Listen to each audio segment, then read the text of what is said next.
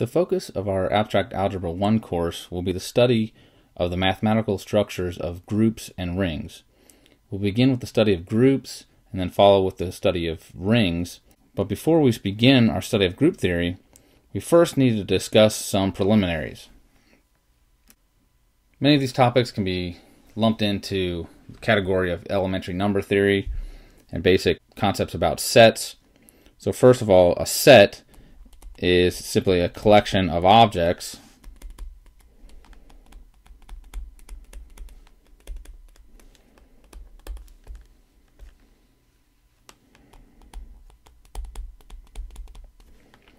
called the elements of the set.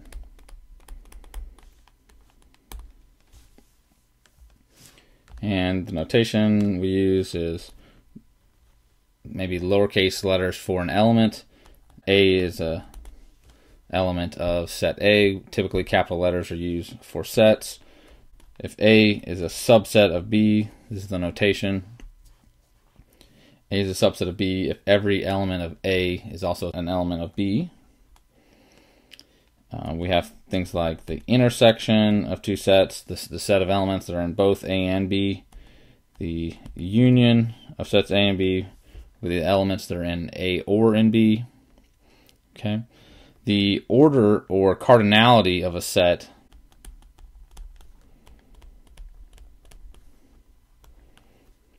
the order of a set A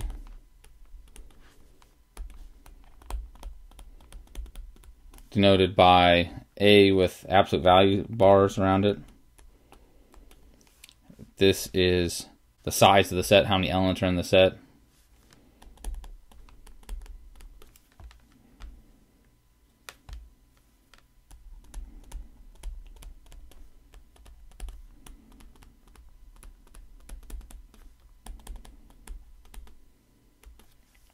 Given two sets A and B, we can take the Cartesian product of the two sets.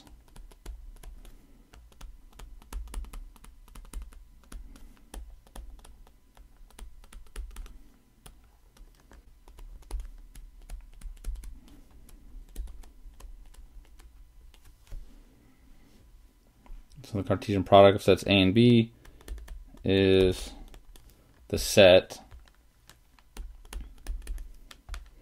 defined by A times B. It's a set of ordered pairs where the first coordinates of these ordered pairs is in A. So the set of all ordered pairs AB such that A is in A and B is in set B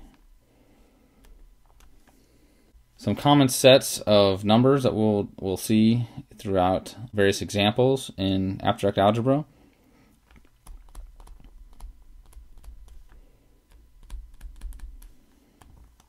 These common sets include the natural numbers, one, two, three, four, and so on.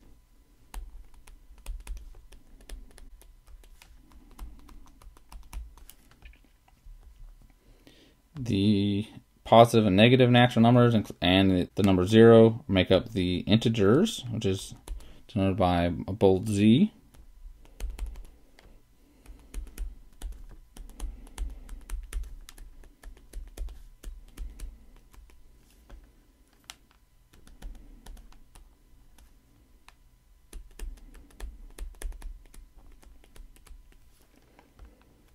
When we take fractions of integers, we get uh, the rational numbers, bold Q.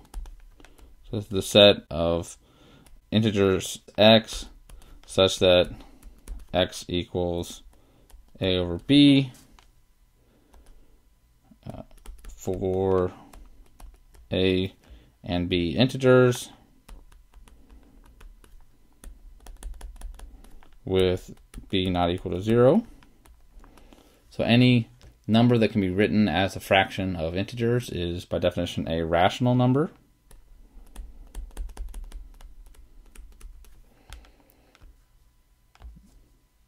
Some real numbers are not rational, so if we combine the rationals and any irrational number, numbers that can't be written as fractions of integers, we get the set of real numbers, which we can kind of just explain as the set of all possible decimal expansions.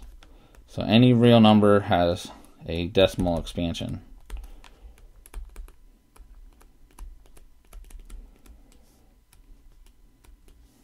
Okay, the set of all decimal expansions, we'll call that the real numbers.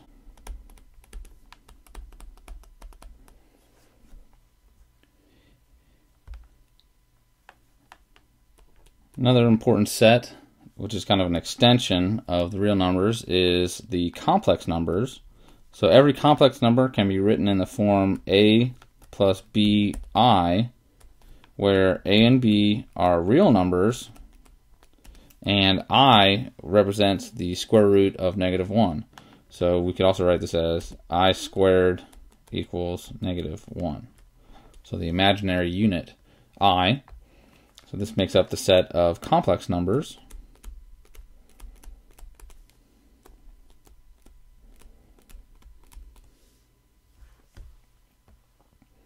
And oftentimes it might be uh, advantageous to talk about positive integers or positive rationals or positive real numbers. So we have a, a notation, we use an exponent of a plus sign to denote just the positive elements of these common sets. So z plus, q plus, r plus denote the positive elements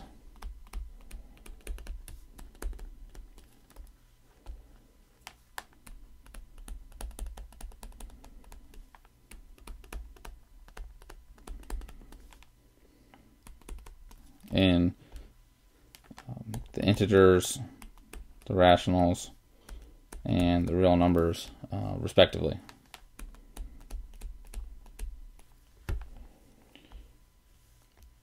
So you can think of the positive integers as just the set of natural numbers. So these symbols would be used interchangeably. Now given two sets A and B, we'll define a function or a map from A to B.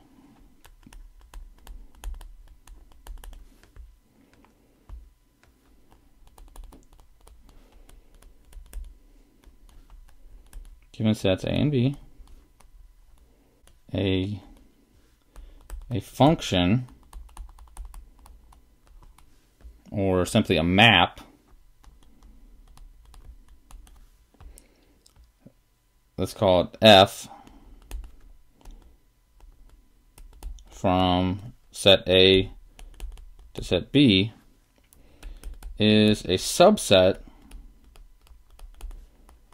of A cross B. So any subset of A cross B is by definition a relation, but a function is a specific subset of A cross B such that for every element of A, so for every little a in set A, there exists a unique element of B, little b uh, in set B, such that the ordered pair a comma b is in this function f. So in other words, for every element of a, there's an ordered pair with that element a, and there's exactly one ordered pair with element a as the first coordinate.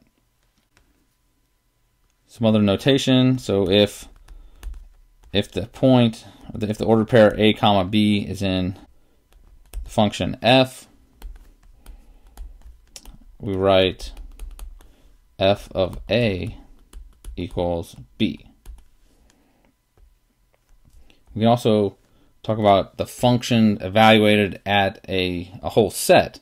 So that the notation f of a set A, this would represent all of the elements B in set B such that B equals f of A for some element A in A.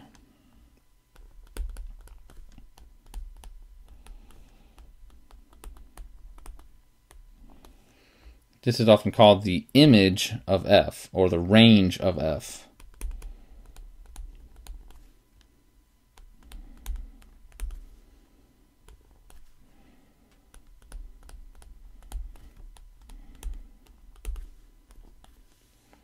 So these are all the possible second coordinates of every of the ordered pairs in um, the set F. Now given a subset of B, so for let's say C, which is a subset of B, we can define what we call the pre-image of C under F. So the notation is, it looks like F inverse of C but C is a set. So we want to define this set to be equal to the set of all elements in A that get mapped to um, elements of C. So we define this to be the set of all little a's in set A such that f of A is actually an element of set C. So this is called the pre-image of C under F.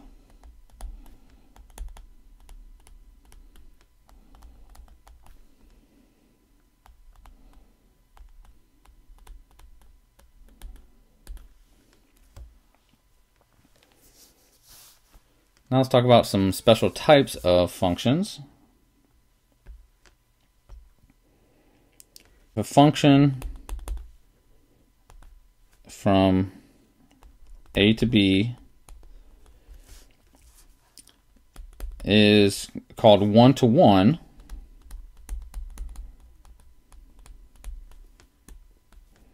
Or injective.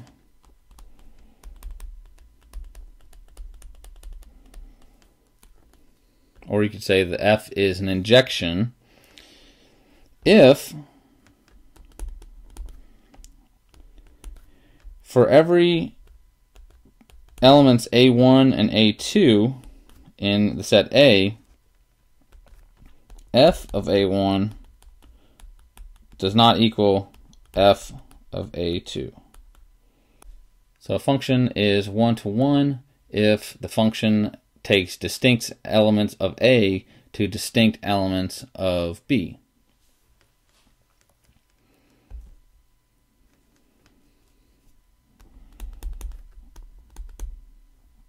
function f from a to b is called onto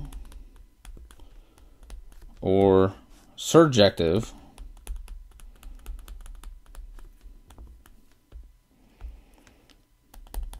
if for every little b in set B, there's an element little a in set A that gets mapped to little b.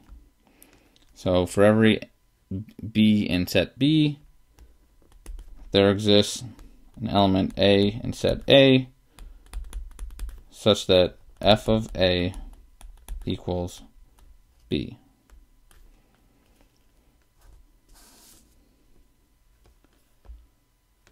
So another way of thinking it is that f of the set A will equal all of set B every element of B shows up as a second coordinate of an ordered pair.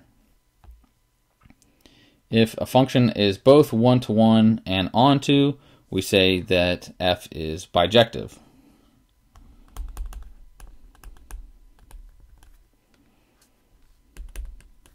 So f is bijective, or f is a bijection if it is one-to-one -one and onto.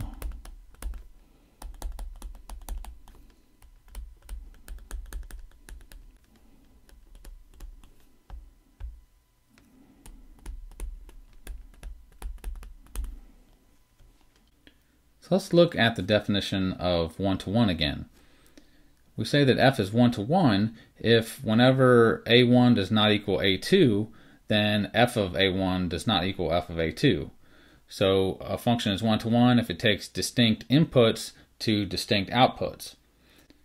But when we are showing that a particular function f is one-to-one -one in a proof, we typically use the contrapositive of this definition. So this would mean that if f of a1 equals f of a2, so if the outputs of the function are equal, then that implies that a1 equals a2. So this is a positive statement without any not equals to signs. So this is the definition that is more useful when actually proving that a function is one-to-one. So for example, if I want to prove that a function is one-to-one, I would begin by saying something like, suppose f of a1 equals f of a2, and then use the function definition and some algebra to show that a1 equals a2, and therefore we can conclude that f is one-to-one. So let's look at an example of a basic function just to demonstrate the technique of showing a function is one-to-one. So let's show that the function defined on the real numbers um, by f of x equals 2x plus 3 is one-to-one.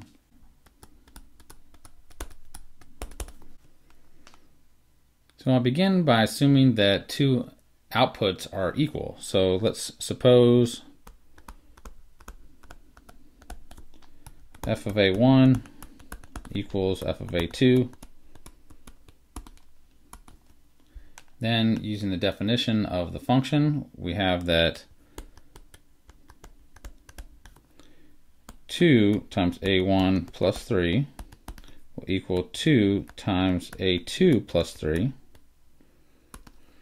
And now we can use uh, basic algebra to show that a1 equals a2 in this equation, I can subtract 3 from both sides to obtain 2a1 equals 2a2. So to keep track of my steps, I'm subtracting 3 from both sides. And then to get a1 equal to a2, I can divide both sides by 2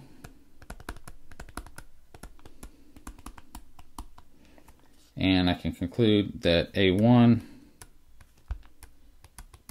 equals A2. So I started by assuming that f of A1 equals f of A2, and I've shown that this implies that A1 equals A2, therefore f is 1 to 1.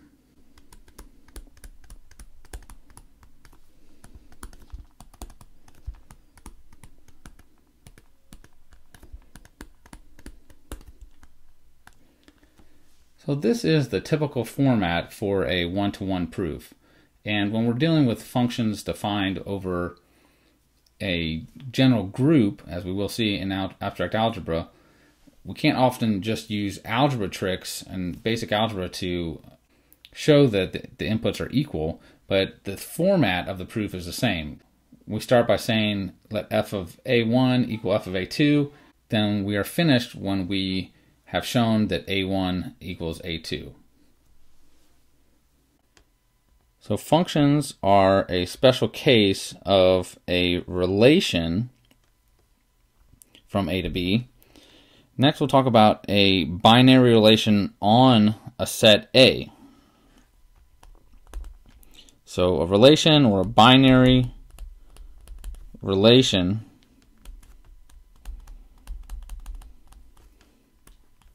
on a non-empty set A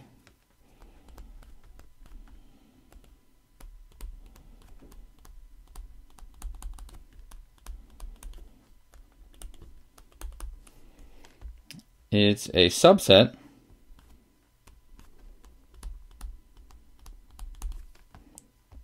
let's call it R of A cross A. and we say, we write the notation A is related to B if the point AB is in this relation capital R. Okay, so this notation is read uh, A is related to B. It's A with this um, tilde between the A and the B. Let's talk about special types of relations that we will come across. A relation is called an equivalence relation if it's reflexive, symmetric, and transitive. Let's write that out. A relation. So let's define, let's call the relation just tilde on set A is called an equivalence relation.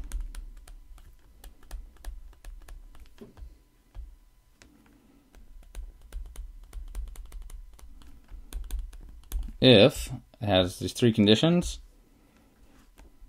First, for every element A in A, A is related to A.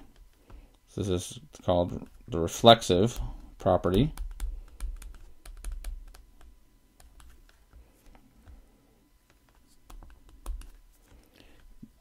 Secondly, if A is related to B, then B is related to A.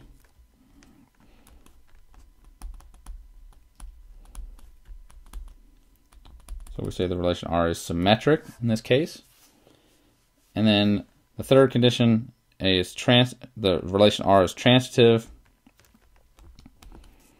So if A is related to B, B is related to C, then A is related to C.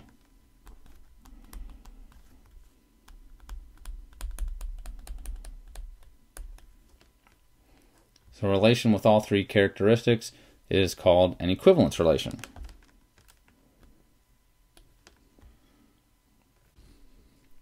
An important idea that goes along with equivalence relations is the uh, is an equivalent class. So suppose you have an equivalence relation. Suppose this is an equivalence relation.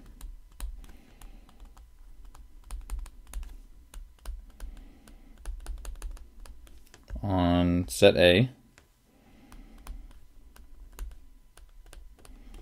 And suppose we have a an element of A.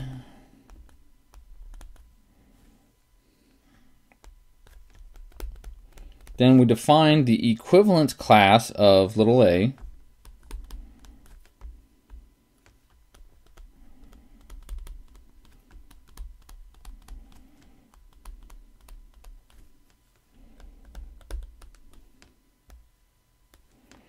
Is defined as the set of all elements of A that are equivalent to A.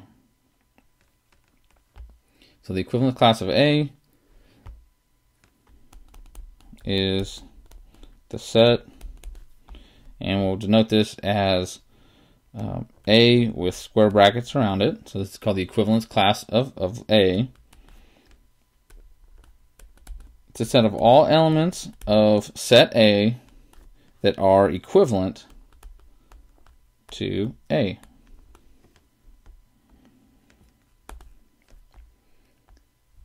Note that every equivalence class is a non-empty set because the element little a is in the equivalence class of A.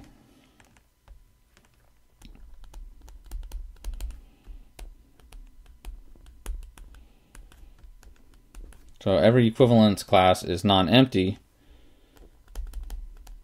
since A is an element of the equivalence class of A. Let's look at an example of an equivalence relation on the real plane. So let our set A be the real plane R2 and let's define the relation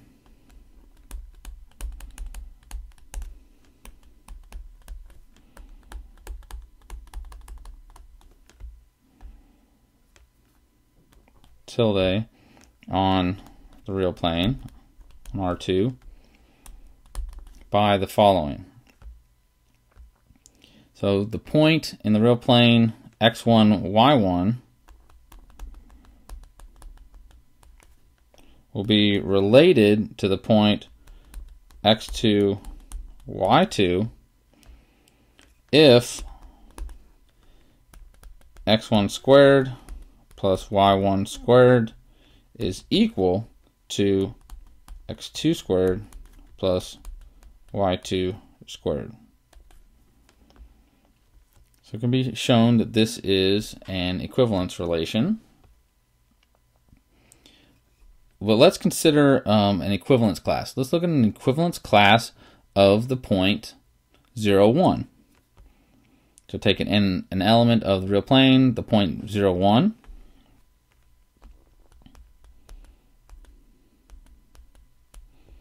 So 0, 1 is a point in the plane.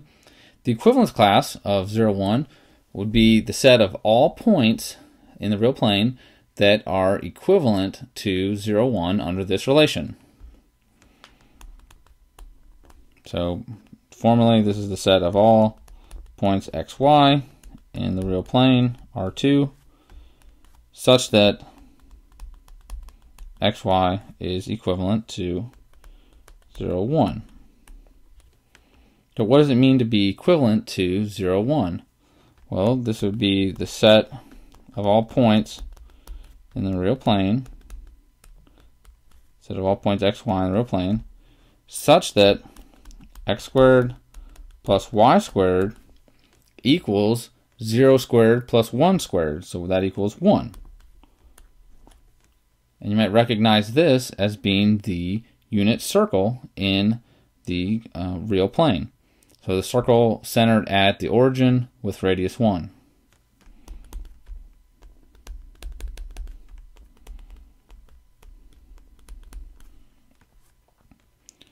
So in fact, the equivalence classes of any point are actually circles centered at the origin. So this unit circle has radius 1 and is centered at the origin. So all equivalence classes are circles with centered at the origin.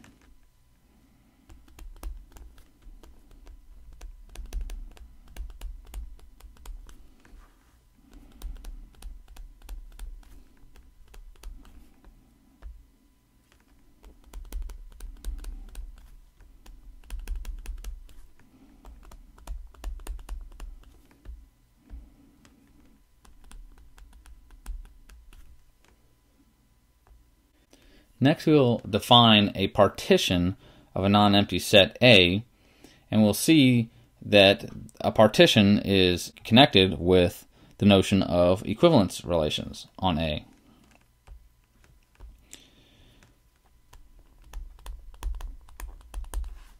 A partition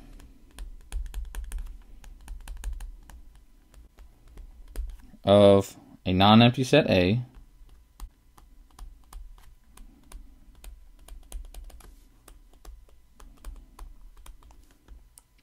It's a collection of non-empty subsets.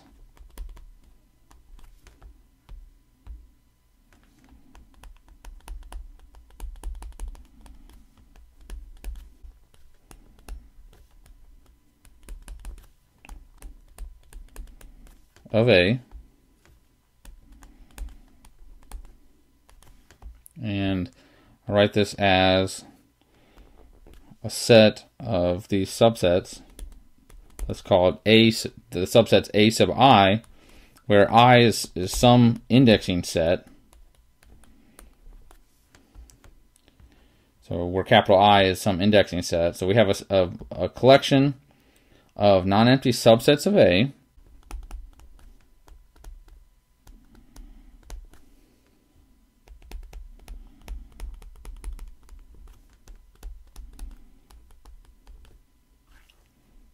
okay,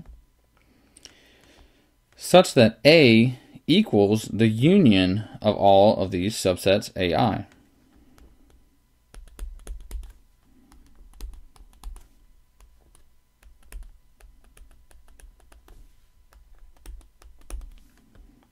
And further, there is no element in common with any any two of these subsets. So in other words, each of the subsets is disjoint.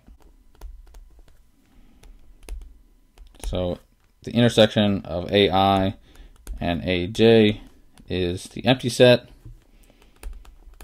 if I does not equal J. So partition of a non-empty set A is a collection of non-empty subsets of A such that A is the disjoint union of these subsets. So A is a disjoint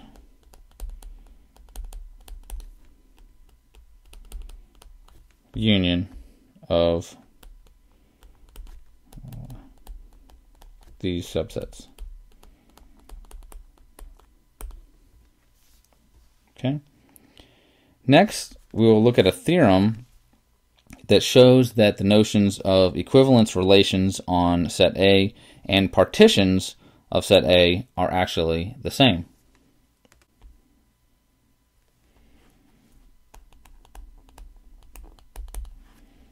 So let A be a non-empty set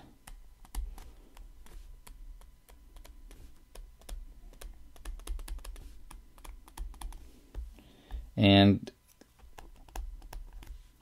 suppose we have an equivalence relation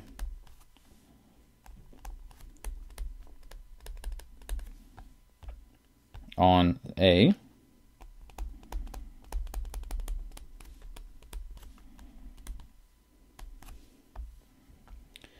then we'll prove that the distinct equivalence classes of this relation form a partition of A.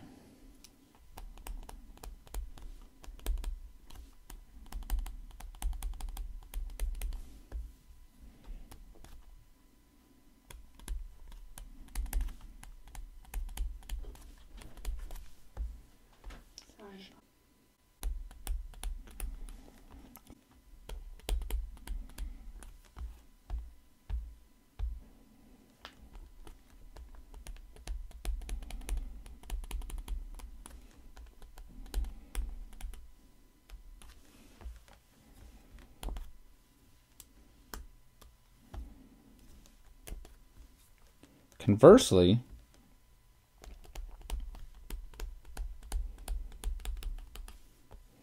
if we have a partition of A,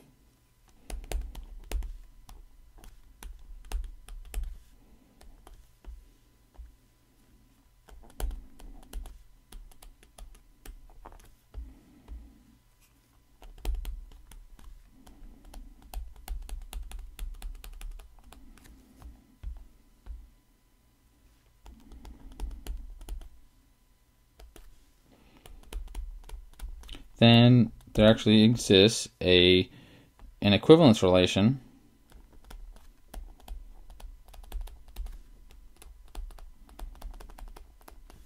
on A with the A subsets AI as equivalence classes.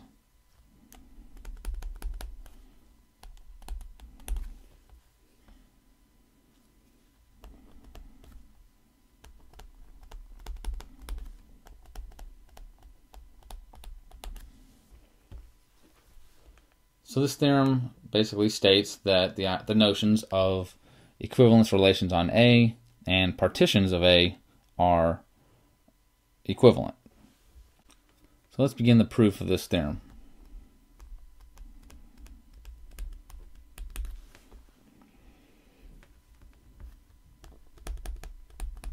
Since little a is an element of its own equivalence class, for every A in set A, we see that we can actually write A as the union of equivalence classes of elements of A.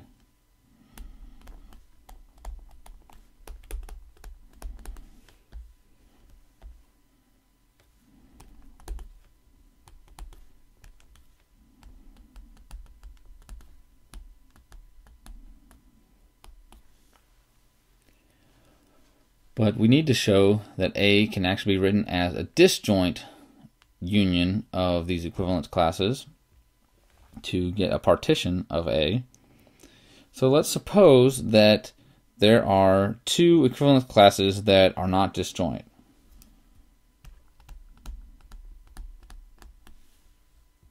Suppose the equivalence class of A intersect the equivalence class of B is non-empty.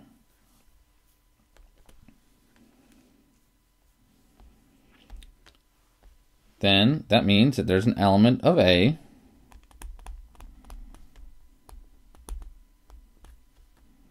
uh, let's call it C. So there's an element C in, in set A such that C is an element of the intersection of the equivalence class of A and B. So therefore C is related to A and C is related to B.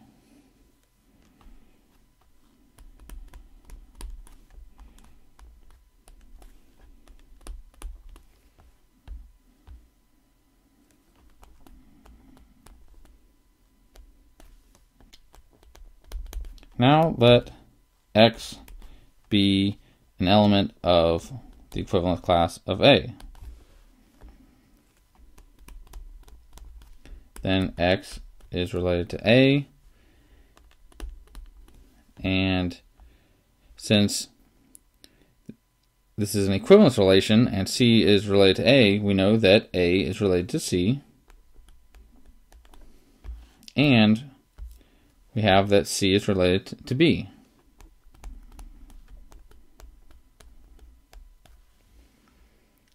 Therefore, by the transitivity property of this equivalence relation, we see that X must therefore be related to B.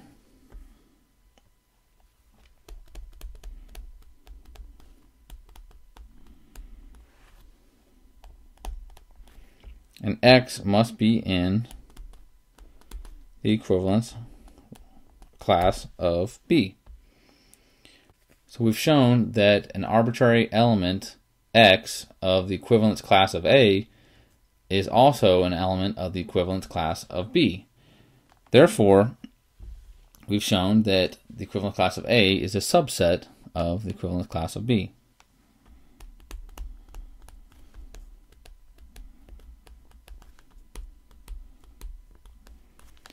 we could similarly show that the equivalence class for B is a subset of the equivalence class for A.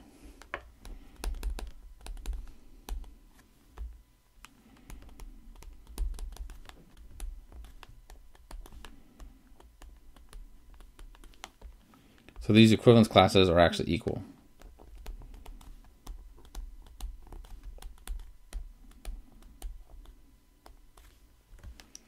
Therefore, if we have distinct equivalence classes of this relation, they are disjoint.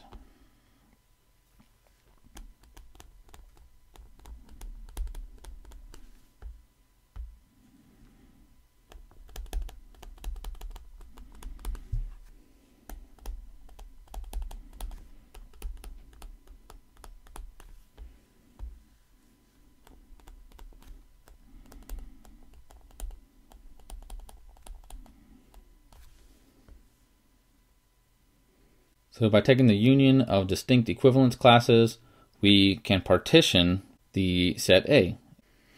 Now suppose we're given a partition of A.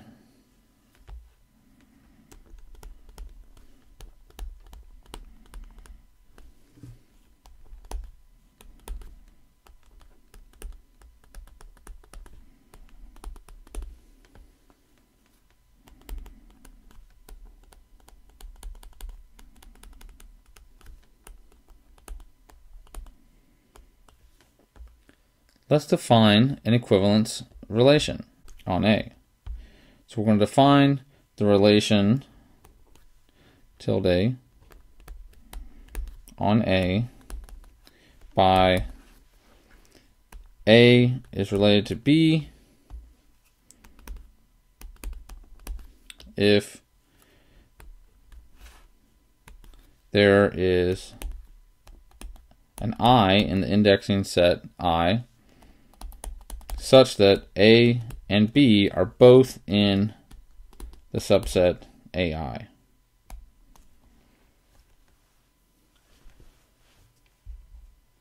So we're given a partition of subsets and every pair of elements is related to each other. So A is related to B if A and B are both elements of the subset AI for some AI.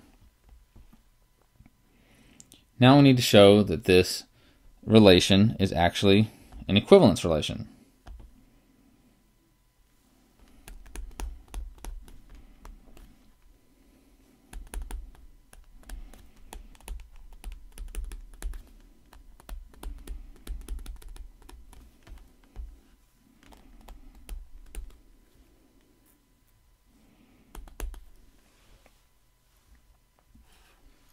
Need to show that this relation is reflexive, symmetric, and transitive.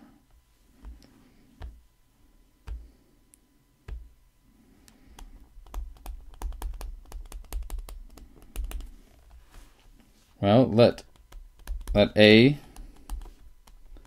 be in set A. We need to show that A is related to A. So since A is the union, the disjoint union of the subsets AI, little a has to be an element of some AI.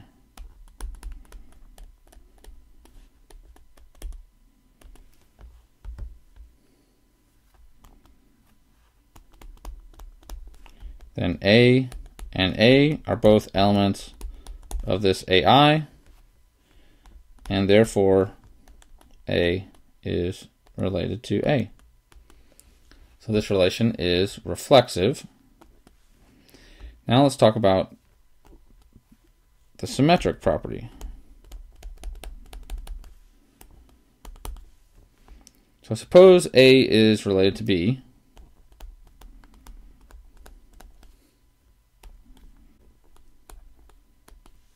we need to show that B is related to A.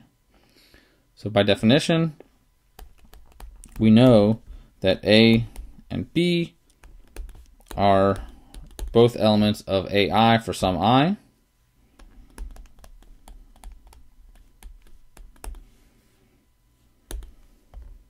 But if A and B are an AI, then B and A are both an AI.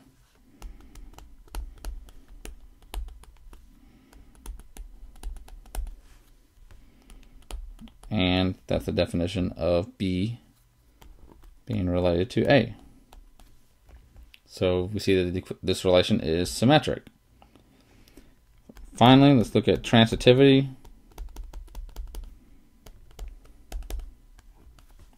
Suppose A is related to B and B is related to C.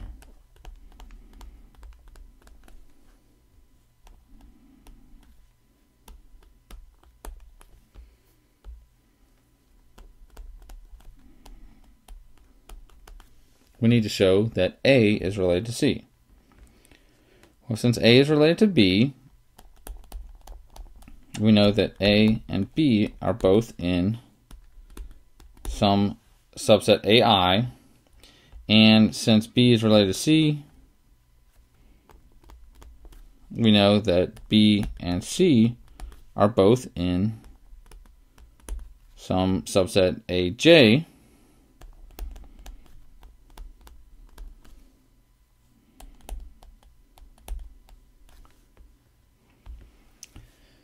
But remember that since we have a partition, the distinct subsets AI are, are disjoint.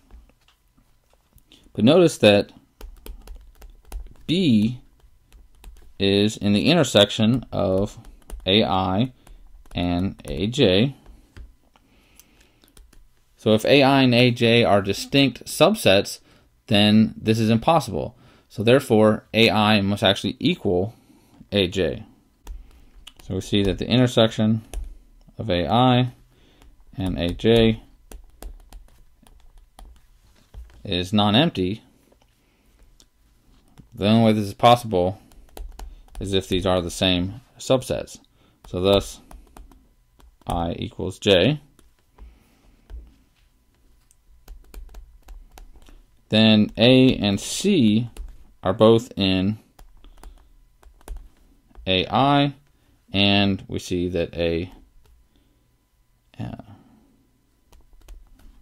is therefore related to C. So this is an equivalence relation. So suppose you have uh, an element of one of these subsets AI. So if A is an element of the subset AI, since the AIs are all disjoint, the little a can't be in any other partitioning subset. So then A is not an element of AJ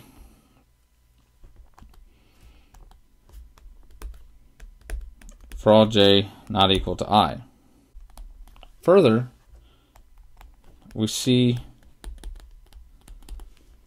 that the equivalence class of A, by definition, is a set of all elements of A, let's say all B, such that B is related to A.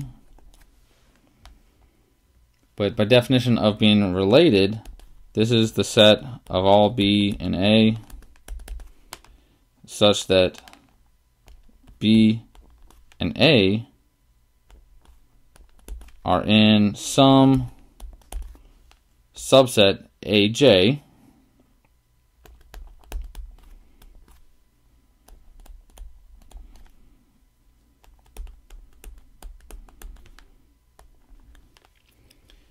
but A can only be in the subset AI. So this would be the set of B and A such that B and A are in AI. But we already know that, that A is in uh, subset AI, so this is really equivalent to the set of B in set A such that B is in AI, and that's just the definition of the set AI. So this concludes the proof of this theorem. We've seen that given an equivalence relation on A, we see that the, the distinct equivalence classes partition A. Further, if we're given a partition of A, we can define an equivalence relation on A with equivalence classes equal to the partitioning subsets